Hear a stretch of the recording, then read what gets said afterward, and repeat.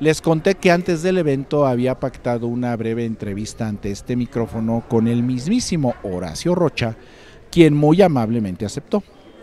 Pero al término del mismo recibimos la negativa en una actitud bastante prepotente de esta persona que se aprecia en la extrema derecha de la imagen, que no sé si es funcionario o académico de la FES Aragón, quien al final de la ponencia en una actitud bastante grosera, para ser académico, se ponía enfrente de mi cámara y el micrófono para impedir acercarme a Horacio mientras él se tomaba selfies con los alumnos.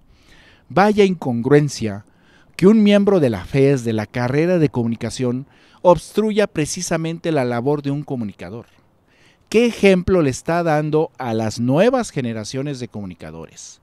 Es absurdo que los jóvenes estén en manos de alguien así.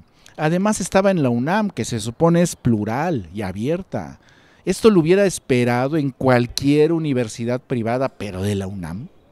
Son estudiantes de comunicación y periodismo. El personal debe darles las pautas, las guías para que los alumnos se motiven y puedan desarrollar esta labor, pero dando estos ejemplos. Entonces hablé directamente con Horacio para la breve plática que ya me había aceptado pero me dijo que siempre no, porque no quería meterse en problemas con Televisa al ser entrevistado por otros medios y ante otros micrófonos, lo cual en la situación de Horacio es perfectamente entendible. No tengo nada en contra de eso.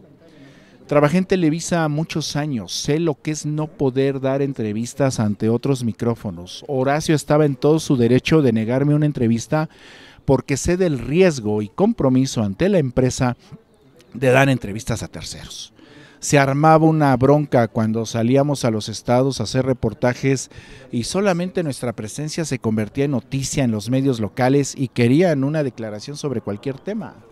A propósito de esto, aquí les estoy mostrando una foto que le tomé a Eduardo Salazar siendo entrevistado por un medio local en uno de los muchos reportajes que hicimos fuera de la Ciudad de México.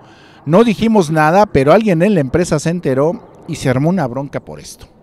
Por eso comprendo perfectamente la posterior negativa de Horacio para una mini entrevista conmigo. Pero sí repruebo la actitud de un funcionario universitario o académico como este.